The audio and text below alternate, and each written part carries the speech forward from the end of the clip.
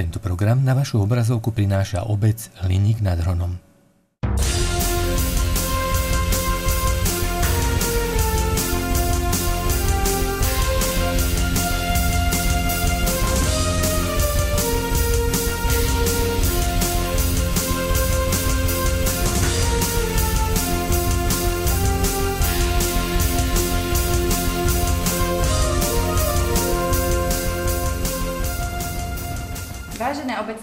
Zastupiteľstvo, ctení hostia. Dovolte mi, aby som vás privítala na verejnom zasadnutí obecného zastupiteľstva dnešného dňa 14. decembra 2023 o 17. hodine. V zmysle pozvánky zverejnenej na úradnej tabuli dňa 7.12.2023, ktorá bola všetkým poslancom obecného zastupiteľstva elektronicky zaslaná v dostatočnom časovom predstihu spolu s príslušnými materiálmi, prechádzam rovno na bod číslo 1 tohto uznesenia a tým je otvorenie a kontrola uznašenia schopností. Dnešné zasadnutie obecného zastupiteľstva týmto otváram a konštatujem, že sú prítomní 7 poslanci obecného zastupiteľstva z celkového počtu 9, takže obecné zastupiteľstvo je uznášania schopné. V zmysle článku 8 odsek 3 rokovacieho poriadku obecného zastupiteľstva obce Hník nad Dronom som povinná vám oznámiť, že neprítomnými, neprítomnými poslancami je Marian Dekíš a magisterka Zuzana Jakušová, ktorí dopredu ospravedlnili svoju neúčasť na dnešnom zasadnutí. E, prejdeme rovno k bodu číslo 2, schválenie programu zasadnutia. E, rovno prečítam uznesenie, nakoľko e, pozvánky spolu s programom boli zaslané. Návrh uznesenia znie, obecné zastupiteľstvo Hník nad Hronom schvaluje zverejnený program rokovania zasadnutia obecného zastupiteľstva obce Hník nad Hronom. Prosím o hlasovanie. Kto je za? Proti? Zdržal sa? Konštatujem, že zo 7 prítomných poslancov hlasovalo za 7 z nich, teda uznesenie je schválené. Teraz poprosím poslancom, ak majú nejaké doplňujúce body alebo námietky k programu, aby ich uplatnili teraz.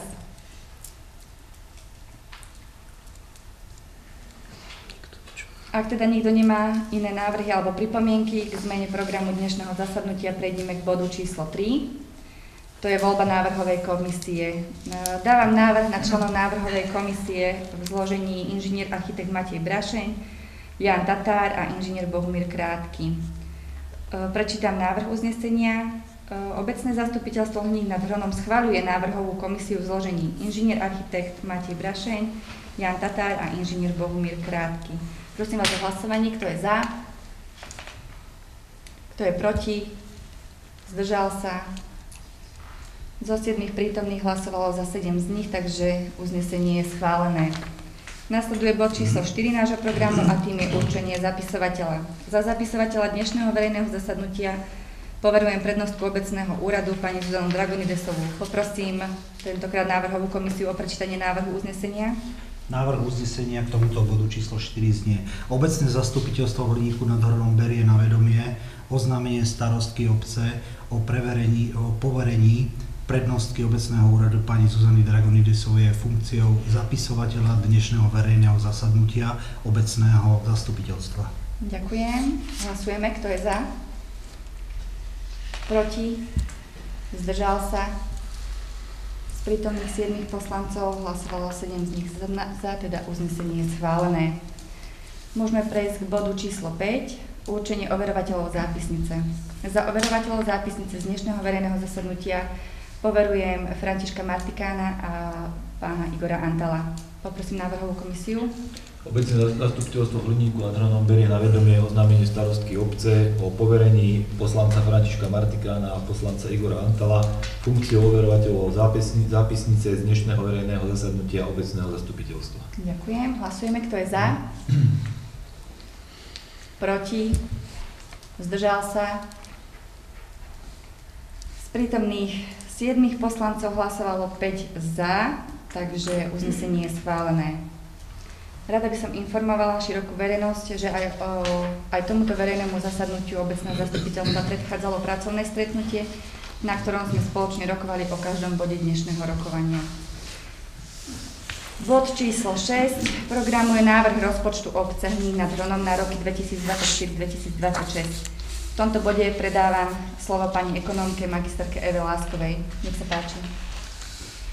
Predkladám dôvodovú správu k návrhu viacročnému rozpočtu obce Hliník nad Hronom na roky 2024 až 2026.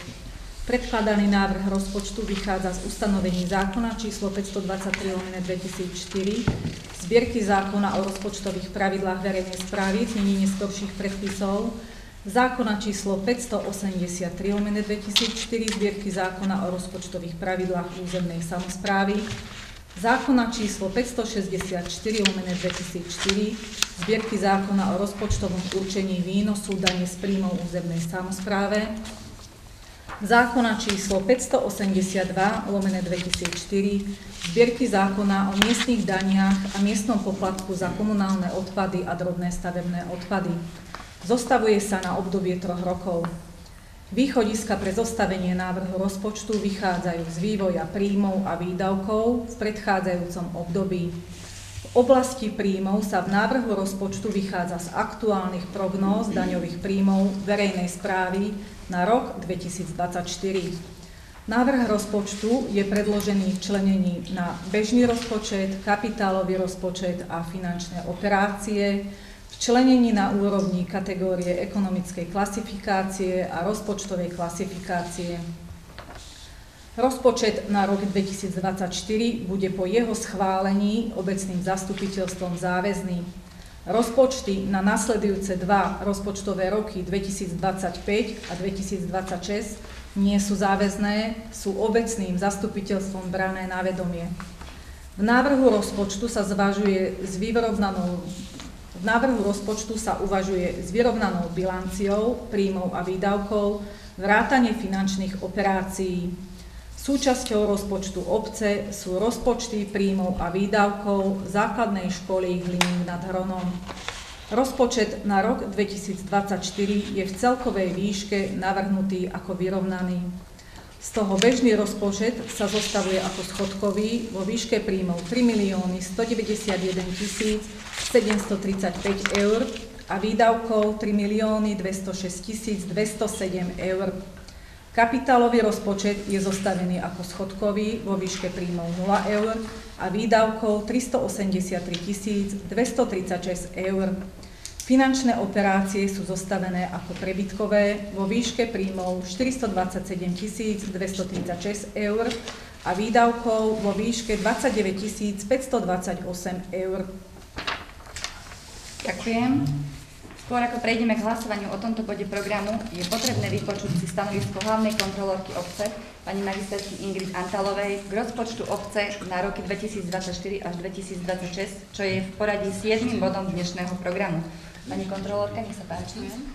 Takže predložený návrh rozpočtu je predkladaný ako vyrovnaný, bol zverejnený na pripomienkovanie zákonom stanoveným spôsobom, zákonom stanovenej lehote.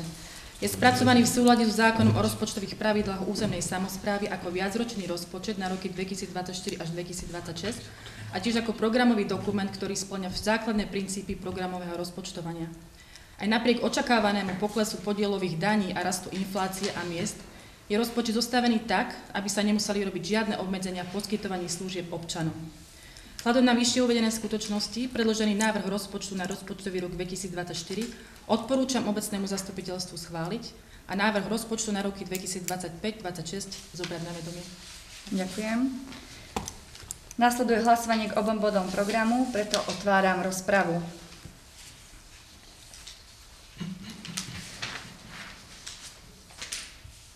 Ak nikto nič nemá, tak ukončujem rozprávu a dávam slovo návrhovej komisii. Budeme hlasovať v troch uzneseniach. Ako prvé obecné zastupiteľstvo Hliníku nad Hronom berie na vedomie stanovisko hlavnej kontrolórky obce k rozpočtu obce Hliník nad Hronom na rok 2024 až 2026. Hmm. Nemalo tam 25, 26. Uh, áno, ďakujem. Uh, poprosím vás o hlasovanie. Kto je za? Kto je proti? Zdržal sa? Z prítomných 7 poslancov hlasovalo za 7 z nich, teda uznesenie je schválené. Ďalšie uznesenie? Druhé obecné zastupiteľstvo Hliníku nad Hronom schvaluje návrh rozpočtu obce Hliník nad Hronom na rok 2024.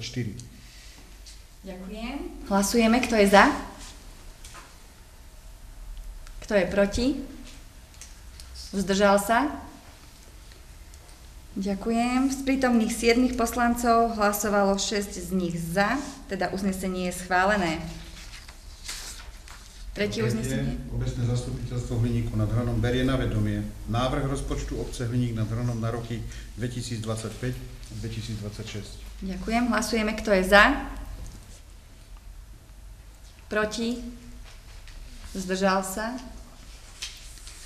Prítomných 7 poslancov hlasovali 7 z nich za, teda uznesenie je schválené. Nasleduje bod číslo 8, rozpočtové opatrenie číslo 7. S týmto rozpočtovým opatrením nás oboznámi pani magisterka Eva Lásková, hlavná ekonomka obce. Pani magisterka, máte slovo? Predkladám obecnému zastupiteľstvu Hliníku nad Hronom návrh na zmenu rozpočtu rozpočtovým opatrením číslo 7. Súlade s odstavcom 2 písmenom A, paragraf 14 zákona číslo 583 lomené 2004 zbierky zákona o rozpočtových pravidlách územnej samozprávy a o zmene a doplnení niektorých zákonov predkladám obecnému zastupiteľstvu návrh na rozpočtové opatrenie, presun rozpočtových prostriedkov v rámci schváleného rozpočtu a to z podpoložky rozpočtu 0810 611 41 tarifný osobný plat v sume 3204,85 eur na podpoložku rozpočtu 0810 642012 zdroj 41 na odstupné v sume 3204,85 eur. Táto zmena rozpočtu je z dôvodu odchodu zamestnanca. Ďakujem. Má niekto doplňujúcu otázku k tomuto rozpočtovému opatreniu? Ak nie, dávam slovo návrhovej komisii. Obecné zastupiteľstvo v Hliníku nad Hronom schvaluje rozpočtové opatrenie číslo 7. Ďakujem. Hlasujeme. Kto je za? Proti? Zdržal sa?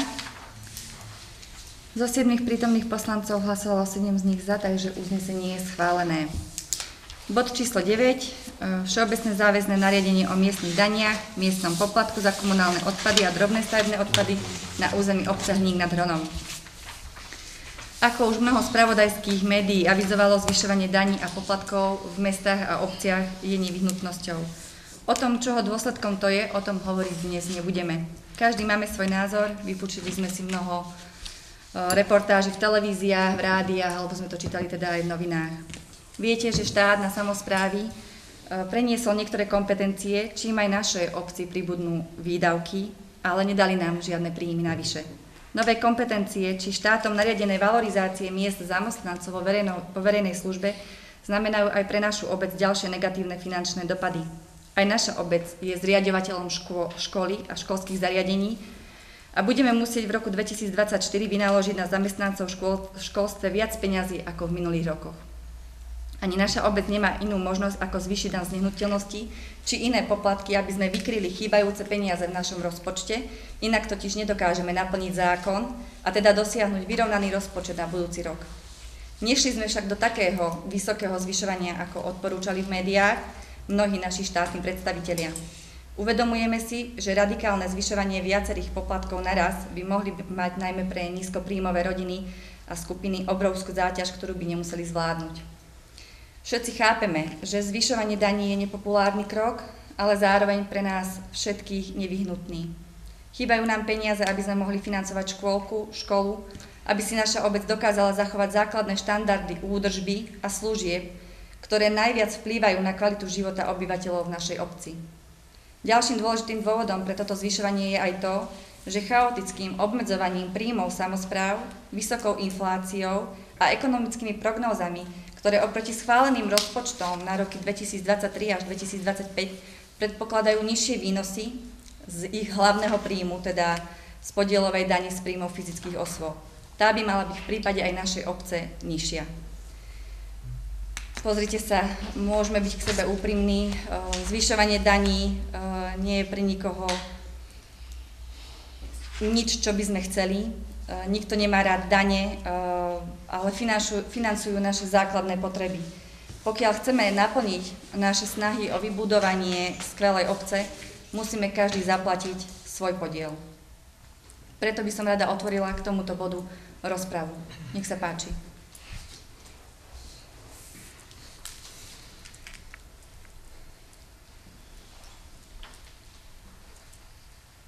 Ak nikto nič nemáte, tak ukončujem rozpravu a dávam slovo návrhovej komisii.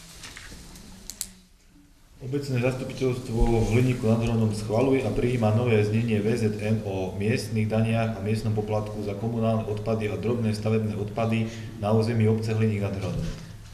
Ďakujem. Hlasujeme, kto je za. Kto je proti? Zdržal sa? Z prítomných 7 poslancov hlasovalo za 5 z nich, teda uznesenie v tomto prípade je schválené. Bod číslo 10. Všeobecné záväzné nariadenie o určení výšky finančných príspevkov na čiastočnú úhradu nákladov na výchovu a vzdelávanie a nákladov spojených so stravovaním v školách a školských zariadeniach, ktorých zriadovateľom je obec Hnín nad Hronom. Ako som už spomínala v predchádzajúcom bode programu, tým, že aj naša obec je zriadovateľom škôl a školských zariadení, budeme musieť v roku 2024 vynaložiť na zamestnancov v viac peňazí ako v minulých rokoch. To sa týka aj Centra voľného času a školského klubu detí. Aj z toho dôvodu sme boli nútení pristúpiť k, k zvýšeniu mesačného príspevku zákonného zástupcu na čiastočnú úhradu výdavkov za pobyt dieťaťa v materskej škole na 25 eur, príspevku na činnosť školského klubu detí mesačne od 7 do 12 eur, príspevku na činnosť Centra voľného času mesačne od 7 do 10 eur. A čo sa týka finančného príspevku na stravovanie, prešli sme z druhého finančného pásma A do finančného, tretieho finančného pásma A na nákup potravín na jedno jedlo. Táto zmena znamená zvýšenie finančného príspevku na stravovanie na nákup potravín o 5 až 20 centov za jedno jedlo. Zvýšil sa aj príspevok na režijné náklady v školskej jedálni na čiastku 25 centov za odobraté hlavné jedlo. Samozrejme, dotácia na podporu výchovy k stravovacím návykom dieťaťa sa poskytuje vo výške stanovenej zákonom aj naďalej a príspevok obce na obed pre poberateľa dôchodku, dôchodku ostáva nezmenený. Otváram rozprávu k tomuto bodu programu.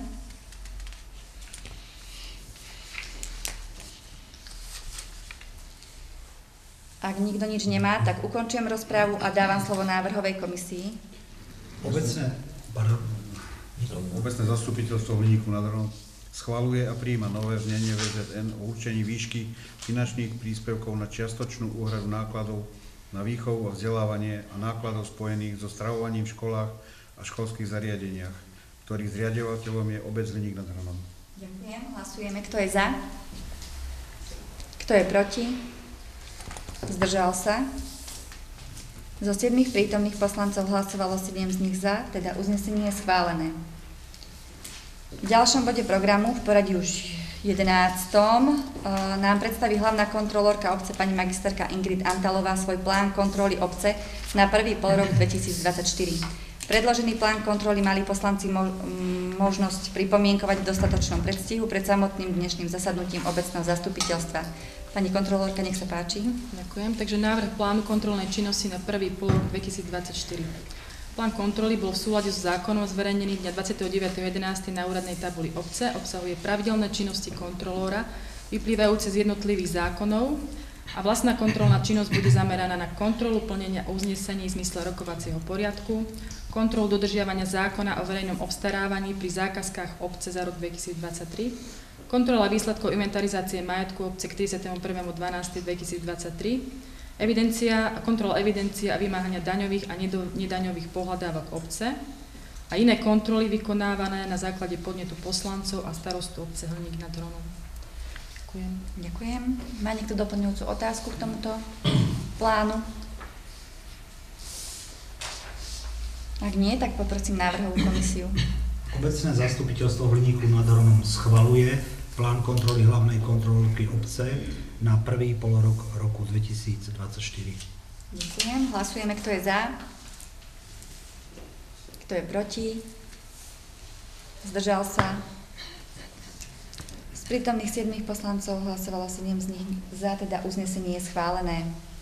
Nasleduje bod číslo 12, schválenie programu hospodárskeho rozvoja a sociálneho rozvoja obce Hlín nad Hronom na programové obdobie 2023 až 2027 s platnosťou do roku 2030. Program hospodárskeho a sociálneho rozvoja obce je strednodobý strategický dokument, ktorý sa vypracúva na základe zákona číslo 539 2008 zbierky zákonov o podpore regionálneho rozvoja. Vypracovanie tohto dokumentu nariaduje obciam uvedený zákon, pričom obce ho musia mať spracovaný obzvlášť v prípade, ak sa uchádzajú o akékoľvek financie z eurofondov alebo o štátne dotácie. Otváram rozprávu k tomuto bodu.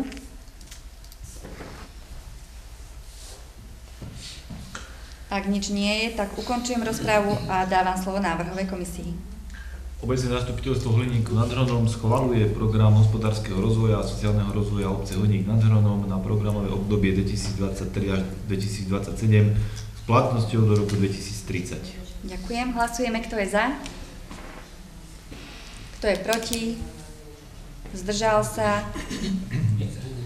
Zo 7 poslancov hlasovalo 7 z nich za, teda uznesenie je schválené. V ďalšom bode programe, v 13. je potrebné schváliť komunitný plán sociálnych služieb obce Hliník nad Hronom na programové obdobie 2023-2027 s platnosťou do roku 2030. Komunitný plán je metóda, pomocou ktorej môžeme plánovať obsah a rozsah sociálnych služieb tak, aby zodpovedal špecifikám našej obce a potrebám našich občanov. Bol spracovaný v súlade so zákonom číslo 448 z roku 2008 zbierky zákonov o sociálnych službách a tiež e, v zmysle zákona 455 1991 zbierky o živnostenskom podnikaní. Snahou je, aby sme postupne v ďalšom období zabezpečovali úlohy a ciele v ňom stanovené. Vďaka tomu sa nám bude dariť adresnejšie a efektívnejšie využívať finančné prostriedky obecného rozpočtu, pre skvalitnenie sociálnych služieb tam, kde je to potrebné a dôležité.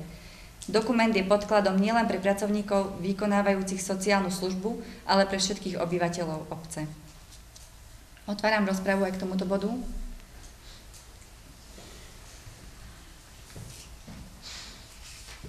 Ak nič nemáme, tak ukončujem rozpravu a dávam slovo návrhovej komisii. Obecné zastupiteľstvo Hliníku nad Hronom schvaluje komunitný plán sociálnych služieb obce Hliník nad Hronom na programové obdobie 2023 až 2027 s platnosťou do roku 2030. Ďakujem. Prosím o hlasovanie s vyhnutím ruky, kto je za, kto je proti, zdržal sa. Z prítomných 7 poslancov hlasovalo 7 z nich za, teda uznesenie je schválené. Bod číslo 14. Schválenie podmienok obchodnej verejnej súťaže na prenájom lodenice. Podmienky vyhotovila Komisia verejnej, e, verejnej obchodnej súťaže, ktorej predsedom je inžinier Jaroslav Baran a ten nám ich môže teraz predstaviť. Ďakujem. Tak len veľmi stručne. Na základe zasadnutia Komisie verejnej obchodnej súťaže zo dňa 7.12. roku 2023 predkladám obecnému zastupiteľstvu podmienky verejnej obchodnej súťaže, s ktorými súhlasili všetci členovia komisie jednohlasne. Jedná sa o prenájem nehnuteľnosti Lodenice. Tieto podmienky boli poslancom zaslané, budú zverejnené na úradnej tabuli, v webovom sídle obce v týždenníku My, noviny Žiarskej kotliny. Podmienky obchodnej verejnej súťaže len v skratke. Podanie písomnej prihlášky, ktorá musí obsahovať minimálne tieto náležitosti. Identifikačné údaje uchádzača, vrátanie e-mailu a telefónu, súhlas zástupcu so spracovaním svojich osobných údajov, účel nájmu s podnikateľským alebo iným zámerom, výška nájmu, doba nájmu, doklad o vyrovnaní záväzkov voči obci a návrh prevádzkovej doby. E, obchodnej verejnej súťaže sa môže zúčastniť aj fyzická osoba, aj subjekt oprávnený na podnikanie. K nebytovému priestoru lodenice je možný aj prenájom pozemku, na ktorom leží lodenica, ako aj súčasť susediacej parcely. Obec má záujem, aby priestory lodenice boli prioritne využívané ako zázemie pre vodnú turistiku, prípadne cykloturistiku a ako oddychová a športovo-relaxačná zóna pre širokú verejnosť. Miesto a termín podávania ponúk, ako aj miesto, termín a čas otvárania obálok či iné informácie nájdete všetci na webovom sídle obce. Týmto komisia verejnej obchodnej súťaže odporúča poslancom obecného zastupiteľstva schváliť predložené podmienky tejto obchodnej verejnej súťaže. Ďakujem. Má niekto doplňujúcu otázku? Ak môžem? Áno. Ja len v krátkosti, že či, je, či už boli nejakí záujemcovia, alebo sú nejakí záujemcovia, alebo to ešte len bude vlastne vyhlásenie tej súťaže. Bude to len vyhlásenie. to bude vyhlásenie. Ešte, keby aj boli, tak ešte je to Ešte nerelevantné. Jasne. Ak nie sú iné otázky, eh, dávam slovo návrhovej komisii. Ďakujem. Pri tomto bude budeme, schvál, budeme hlasovať o dvoch uzneseniach. Prvé uznesenie. Obecné zastupiteľstvo Hliníku nad Hronom schvaluje na základe paragrafu 9 odsek 2 písmena A zákona číslo 138 z roku 1991 zbierky o majetku obcí v znení neskorších predpisov spôsob prenechania do nájmu nehnuteľnosti Lodenice, budovy súpisné číslo 52 spolu s pozemkom parcely registra C číslo 3531, na ktorom leží, a časti parcely registrácie číslo 3530 v Hliníku nad Hronom obchodnou verejnou súťažou podľa ustanovení paragrafu 281 až 288 obchodného zákonníka. Ďakujem. Hlasujeme. Kto je za? Kto je proti? Zdržal sa? Z prítomných 7 poslancov hlasovalo 7, 7 z nich za, takže uznesenie je schválené. Druhé uznesenie. Obecné zastupiteľstvo Hliníku nad Hronom schvaluje na základe paragrafu 9 odseka 2 písmeno B zákona číslo 138 z roku 1991 zbierky o majetku obcí v znení neskorších predpisov podmienky obchodnej verejnej súťaže podľa prílohy. Ďakujem. Hlasujeme. Kto je za? Kto je proti? Zdržal sa? Prítomných 7 poslancov hlasovalo 7 z nich za, takže uznesenie je v tomto prípade schválené. Bod číslo 15. Voľba členov komisie priestupkov verejného poriadku, dopravnej a požiarnej prevencie. Na verejnom zasadnutí obecného zastupiteľstva dňa 15. novembra 2023 bola zriedená spomínaná komisia. Za jej predsedu bol zvolený pán Jan Tatár. Teraz ho žiadam o predloženie návrhu na voľbu členov svojej komisie. Ďakujem. Za členov komisie priestupkov verejného poriadku, dopravnej a požiarnej prevencie navrhujem pána Jana Tomčányho, Milana Hoďu a inžiniera Miloša Kvapila. Všetci navrhovaní členovia súhlasili so svojím zvolením. Ďakujem. Má niekto doplňujúce otázky alebo námietky? Ak nie, tak poprosím návrhovú komisiu o prečítanie návrhu uznesenia.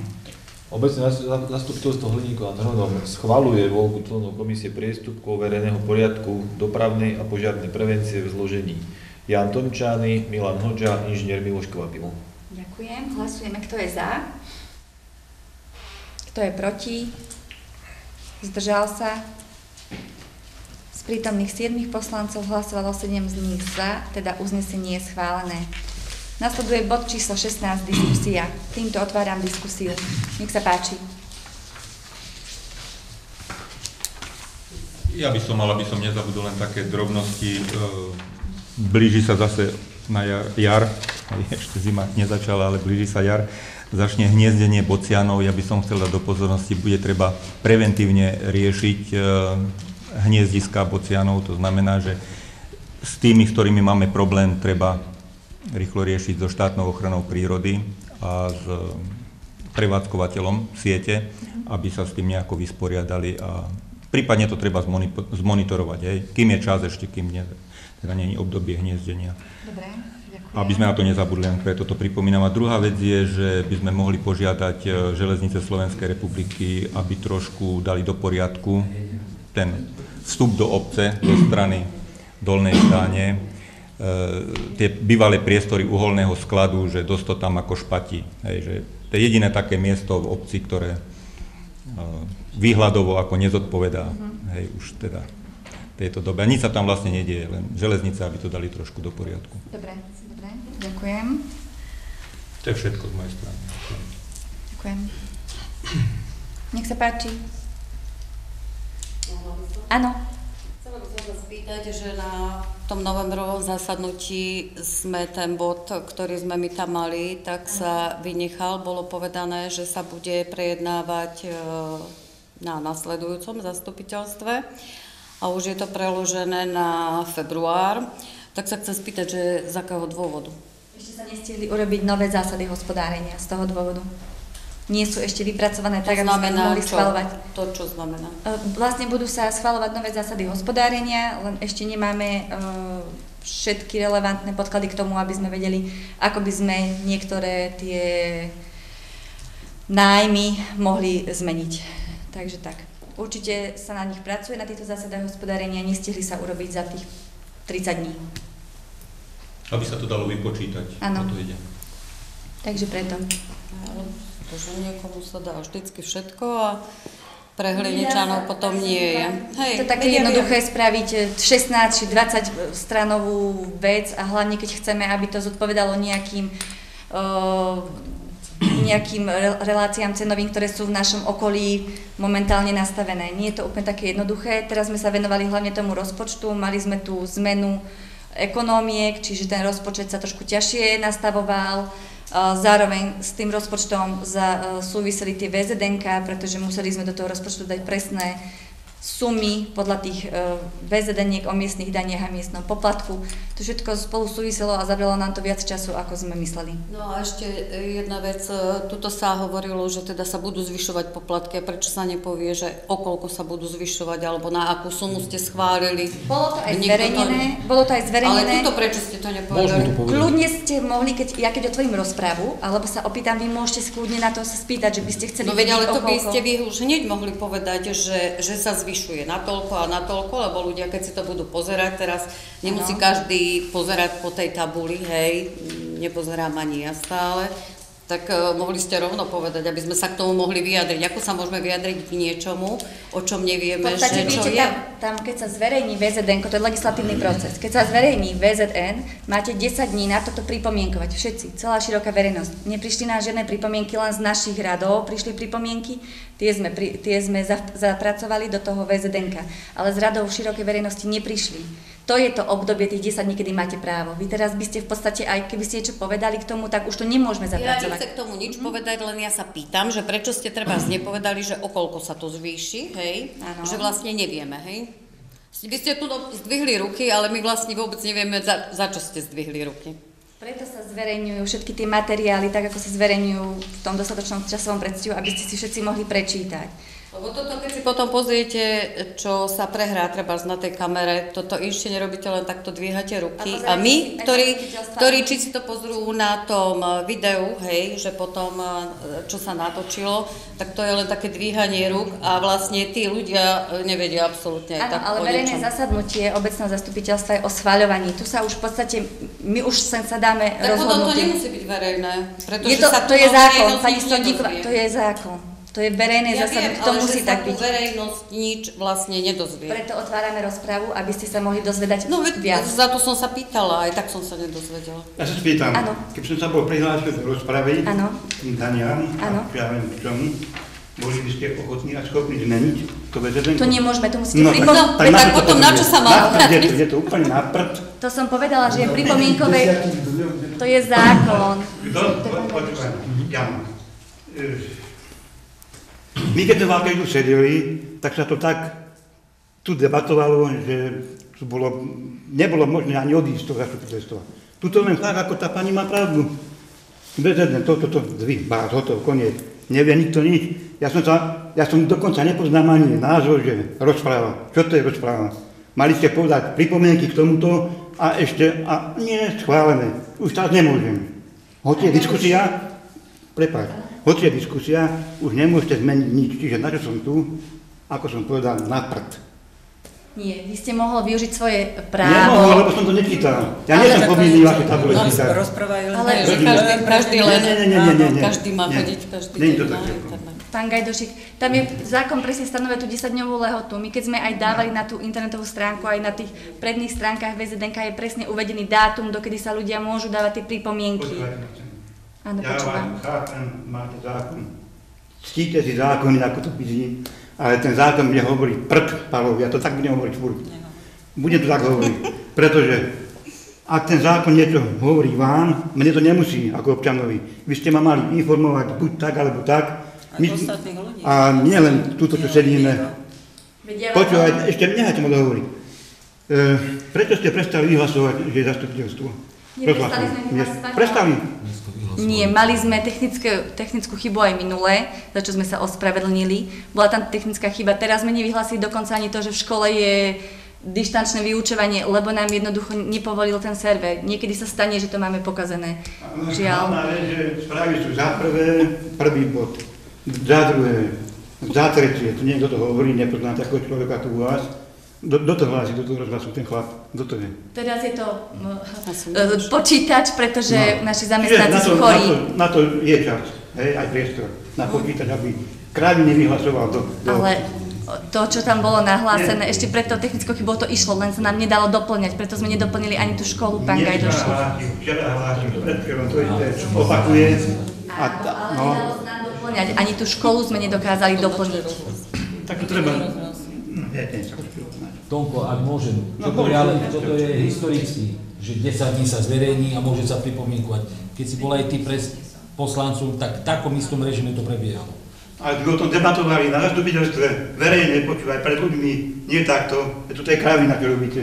Ale, ale tiež bolo pracovné, takisto ste mali pracovné. Ale, ale z toho pracovného No. nebolo pripravený materiál žiadny, ešte sa preberal na ďalšom zastupiteľstve. Celo, Ja som chodil na tie plné, No tak. ale tiež nechodilo toľko, koľko bolo ľudí tam. Nechodilo, Hej, 10? nechodilo, ale chodilo. No tak to je to isté. Dobre, pán Gajdoš, môžem sa teda vyjadriť k tomu, čo pani Sondíková povedala, aby som, lebo o tomto je zbytočne sa rozprávať v diskusii, aby ste vy osočovali iných poslancov a zástupcov. Aj ona to má, to je to isté, to ste schválili, konec, hotovo. Tak teraz nie je možné povedať, že koľko sa zvýšilo. Áno, môžem odpovedať pani Sondíkovej na to, čo povedala? Čo ste sa pýtali? Na to zvýšenie, OK, Ja, no. ak ste to teda nečítali. No nečítalo. Dobre, takže dan za užívanie, Ja si myslím, že to asi skoro nikto nečítal. tak dan za užívanie verejného... Keby si nebol poslanec, tak tiež nevieš. Áno. Čo mi vravíš? Keď chcem niečo komentovať alebo niečo, tak si to pozriem. Ja sa naštudujem len a spýtala, potom poviem. prečo, prečo Keď nebola prídem niekde suma. neviem, nepozriem si podklady, ktoré sú zverejnené, no tak radšej budem ticho a nič nepoviem, aby som nerobil. No ale to sa nedá povedať, že čo schvaluješ, aké Môžeme, pani Sondíková, môžem, Áno, áno. chcela by som sa k tomu vyjadriť.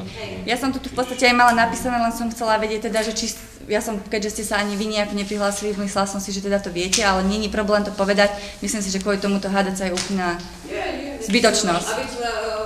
Ľudia, čo si to pozrú, aby teda tiež vedeli. Určite si aj prečítajú, pretože každý platí dane a bude si pozerať, o koľko sa mu zvýšili a aká daň. Takže to asi každý z nás vždy si pozrie. A najlepšie to zistí, keď to pôjde zaplatiť. Dobre, tak môžem. Dan za užívanie verejného priestranstva, dan za ubytovanie, dan za predajné automaty, dan za nevýhodné hracie prístroje sa nezvyšuje. Poplatok za komunálny odpad a drobný stavebný odpad v prípade fyzických osôb sa zvýšil o 5,3% čo činí 40 eur ročne za jednu osobu.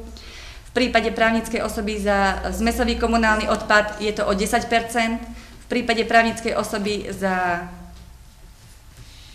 biologicky rozložiteľný odpad je to 4,65 E, Za drobný stavebný odpad je to 5,13% Dan za psa, oslobodenie od tejto dane v prípade psa chovaného v rodinnom dome vo výške 66,67% teda výška poplatku je 10 eur za jedného psa na kalendárny rok a dan z nehnuteľnosti išla hore približne o 40% Takže asi toľko k tomuto. Môžem poprosiť, Áno? eh, poplatky skumulujme za ten odpad, všeobecne ako je, na, ako je vo výmere za odpad. Koľko to je? eur za jednu osobu ročne. 40 eur za 40? 40 eur.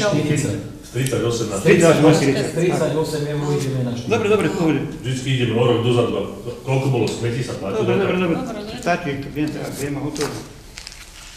Takže toľko. No. No, veď, e, viete, že presne pri tom bode sa mohlo aspoň tieto základné veci povedať, že o koľko to ide hore, že nemusí každý teraz ísť na tú stránku a si to pracne pozerať, ale sa to tu do, dozvie. No, tak by to mohlo byť. Dobre, ospravedlňujem sa, že som vám teda neprečítala skôr. Ospravedlňujem sa. To, to nie je len pre mňa. Veď ja Samozrejme. si myslím, že všetkých občanov zaujímajú tieto informácie. Určite nie som ja jediná. Oni parlamenty nehovoria všetky čísla, takže... No, veď toto. A kde ste od parlamentu? Nie, nie, nie sme. Nemáte ani Matoviča, nemáte nikoho. Matovič nie, že... Dobre, toto, toto neriešime, dobre? Určite nie. Kľudne, ak nech sa páči, ešte máte nejakú, nejaký príspevok do diskusie, pán Gajdošík. Mám to veľa, ale to nemá. Chcete mimo fakt. kamery? Lebo debatovali sme sa o cestnej doprave v Hliníku. Ja nie som bozák, rozumieš ma, nie som bozák, Ale už to, čo sa robí po uliciach s autami osobnými, niekto má 4-5 aut, to není normálne. A bez postihu, bez poplatku, bez problémov, parkuje sa s nákladnými vozmi denne, v noci, na uliciach, verejných priestranstvách. A nikto nič nerobí. Asi nemáte kompletné informácie, ale my sme dávali aj v priebehu tohto týždňa upozornenia do schránok motorovým vozidlám, ktoré parkovali mimo... mm, Kvôli údržbe zimnej. Aj kvôli údržbe zimnej, samozrejme. A upozorňoval som pred pol rokom na križovatky, ktoré nie sú označené, sú rovnocenné križovatky. To som, už sa v tom niečo urobilo. Pán áno, robí sa totižto projekt, robí sa dopravný projekt, pri ktorom sa budú riešiť tie dopravné značky. To sa nedá len tak, že pôjdeme, objednáme alebo kúpime a osadíme. No, takže určite viete, ono to má nejaký proces, aj to, aby sme našli nejakého dopravného projektanta v dnešnej dobe sú veľmi vyťažení. Už to, keď sme hrali, eh, hľadali na eh, rekonštrukciu cesty Opatovská Dukalských hrdinov, bolo to veľmi náročné a tá pani eh, inžinierka teda vravela, že určite v priebehu tohto, tohto kalendárneho roka nám už nedokáže tie svoje služby poskytnúť, lebo má toho viac, ale budúci kalendárny rok máme toho okrem týchto dopravných značení, čo sa týka dopravného inžinieringu o mnoho viac. Keď niekoho prejde auto, potom bude, ja som, ja keby som bol nejaký mladší vodič, tak mám 50 krát rozbité auto len na jednej križovatke v Lini. Len na našej križovatke. 50 krát. Popri Olajacovi, čo ide smerom ku koňom, to si každý berie ako hlavnú, pritom všade platí, pravidlo z pravej ruky, alebo teda vozidlo sprava. To nikto nerešpektuje.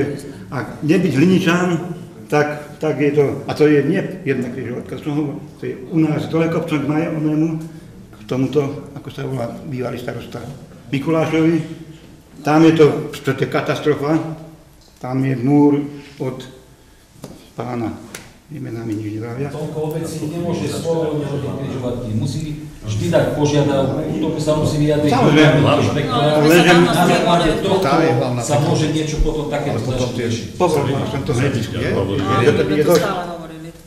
Hovorím tam, kým niekoho nezabije, tak a potom, môže, potom bude aj inžinier dopravný, potom bude aj neviem kto, aj všetko. To vám môžem teda poradiť, ak chcete to takto riešiť, treba napísať písomne žiadosť o poriešení tohto a musí sa to potom začať riešiť. Až to. Tak to je to, čo som povedal, že nebudem bonzovať nikoho. Veď, A to není bonzovanie. ale je to bonzovanie, veď ale tie, tie pravidlá by mali platiť, Ak- neplatia tie pravidlá, Ale- tak teda si to vybavte s nimi a skončite. Dobre, tak veľmi krásne ďakujem. Ak ma, nemáme už žiadny príspevok do tejto diskusie, Ja sa chcem pýtať, škôlka, stropy, ako... áno, už sme požiadali externú spoločnosť, ktorá by v priebehu, keď bude škôlka dva týždne zatvorená, tak medzi sviatkami a však prvý týždeň v, školsko, v novom roku kalendárnom, aby nám to prišli urobiť. Takže áno, je to aj narozpočtované, našli sme takú položku rozpočte, z ktorej by sme mohli čerpať. Takže to je v poriadku. A To sme aj s pani riaditeľkou čo to je? Ako to vyzerá? Uh, Ten momentálne sme museli pozastaviť z toho dôvodu, že na tej jednej komunikácii už boli dve stavebné miesta, čiže nás vlastne policajti zastavili, že kým sa nedokončia tie mosty, aby sme trošku počkali, takže čakáme. No ale uh, včera som bola v podstate so zastupcami Slovenskej správy ciest, ktorí ma ubezpečili, že do konca budúceho týždňa by to už malo byť ukončené. Záleží od dodávky z vodidiel, samozrejme, a to zase externe im niekto robí. Takže v podstate čakáme na toto, aby sa mohlo spustiť ďalej to robenie na tom, na tom chodníku. Uvidíme aj samozrejme počasie, aké bude, aby ak bude mrznúť, aby to nebolo zase také. A tak to zabradli sa dá osadiť. Čakajú na, to, na tú dodávku, no a potom ten externista, ako bude mať čas, ten externá spoločnosť. Takže tak. A cesta dole? Tam sme si dali, za, no takto, my sme požiadali vlastne uh, o nejaký ten frézing, pretože to, čo si spomínal, tak to nie je naše, zisťovala Tak som. nikto nevie, koho to je. Nikto nevie, kto, koho to je. Nie, takže požiadali sme o phrasing a v podstate bola som eh, s konateľom spoločnosti, ktorá potom by nám to už ten phrasing, ktorý my uh, si zožinieme, uh, zavalcovali, zapracovali. Takže to je tiež v štádiu konania A akurát. ten frézing, ako vyzerá? Treba hlavne odfrezovať. Nie, nie, čakáme, až teda budeme v poradí na to, aby nám ten phrasing dali. Tak, to je poradí, hej? No, tak vieš, ako to je. Dobre, takže asi tak. Ja? Môžete. Koho je úsek cesty od stanice smerom do Dolnej Ždáne a pani Maťašovskej? Teraz sme o tom hovorili, to je naše. Teraz sme o tom To- hovorili. toto je ono? Áno. Prepáč. Lebo to Áno. Neviem, čo ti práve. Áno. Áno, áno, o tomto sme A hovorili. ešte keď som prišiel, e, ako stojí tá akcia s tými, s tým zvozom toho nebezpečného odpadu? Ako ste na to? Stojí.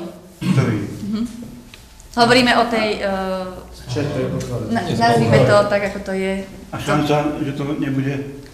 Neviem vám povedať, stále je to na tej EI, tam sa to rieši, oni vlastne dali nejaké teda im eh, podmienky, ktoré mali nejaké splniť, niečo zapracovať do toho svojho návrhu. Asi je to stále na takomto bode, lebo inú informáciu k nám na obecný úrad zatiaľ nikto nedal. Ani z tých inštitúcií, ani eh, zo strany eh, dodávať toho, toho investora. A vieme, kto dal už predtým, než sa to prejednávalo na tomto zastupiteľstve, alebo nie, na tomto, ale za vášho Áno. tohoto starostovania, že kto to s nimi predjednával, lebo Ešte pred to, to my nami. vieme, občania, ale nevieme kto. Vieme, že kto to pred, predjednával, kto dal taký predbežný súhlas tej firme, Nie, nevieme. Ten- ten sa vyjadri, Taký záznam, Súhlas nebol žiadny. taký záznam tu nie je. To. ten chlap povedal pred kamerou, to si môžeš prehrať na tom kultúráku, že mali súhlas od, a prejednávali s niekým z, obe, z obce. Takže Nie, pán Gajdoš, že len na to prejednávanie, že Vôbec. ako, že Ja môžu že nie sa, na sa akože predtým to bolo. predstaviť, aby sa mohli možno, že len to. Neviem, pán vám na to odpovedať. Tak oni sa boli, oni boli najprv prezentovať, oni to boli prezentovať najprv na obci a na základe toho sme boli, veď Fero bol tiež tedy poslancom, boli sme o tom informovaní a potom sa vlastne spravilo to spoločné stretnutie, ale tam nikto, nemáme aspoň také indície, že by niekto niekomu niečo tam slúbil. Veď nie, ja hovorím, že nie vy. Som povedal otvorené, jasne. Takže či neviete, kto to bol? Nie, pán Gajdošik, Dobre. zima. Toto nie.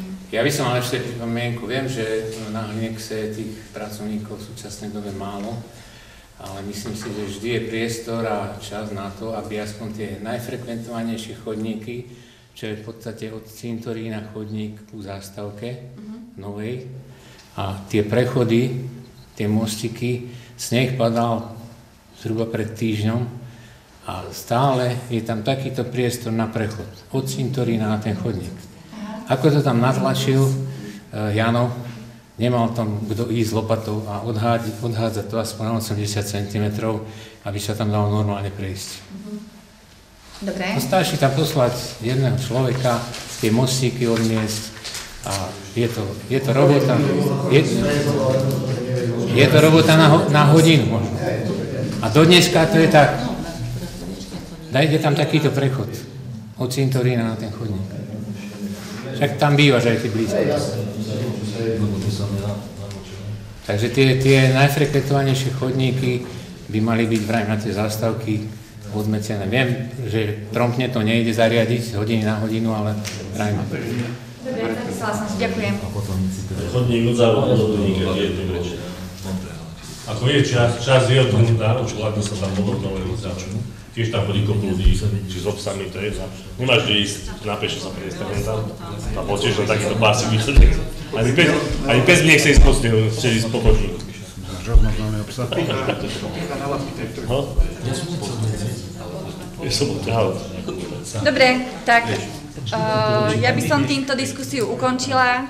Všetkým veľmi pekne ďakujem uh, za účasť na dnešnom zasadnutí. Ďakujem aj našim hosťom a prajem vám príjemný zvyšok večera a požehnané Vianočné sviatky. Ďakujem.